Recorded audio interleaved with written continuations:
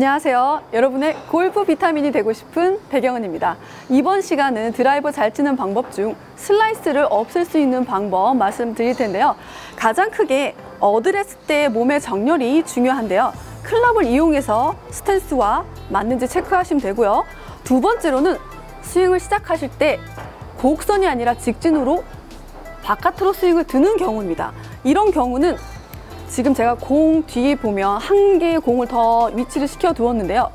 클럽의 뒷면으로 이 공을 밀어내면서 스윙을 하시면 클럽이 바깥으로 나가는 것을 방지할 수 있는 안정장치가 될 수 있기 때문에 연습장에서 활용하시면 좋고요.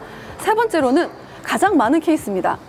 백스윙을 한 상태에서 중심이 앞으로 공을 향해 가까워지면서 제 손이 올라간 길보다 바깥으로 내려오게 되면서 찍혀 맞아서 오른쪽으로 가는 경우도 있고 일명 뽕샷이라 그러죠. 뽕 뜨는 그런 공의 구질도 나올 수가 있기 때문에 백스윙을 하신 뒤에 분명히 시작을 했을 때는 발 전체의 중심이 있었기 때문에 다운스윙을 하실 때도 발 전체의 중심을 위치한 상태에서 클럽을 휘두르셔야 보다 정확한 공 contact과 더불어 슬라이스를 미연에 방지할 수가 있기 때문에요.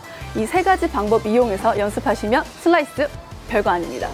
자, 이어서 여성 골퍼분 스윙 보면서 다시 말씀드릴게요.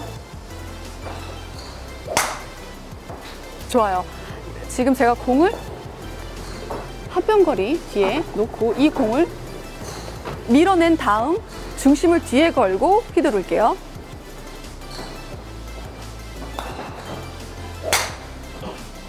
잘하셨어요.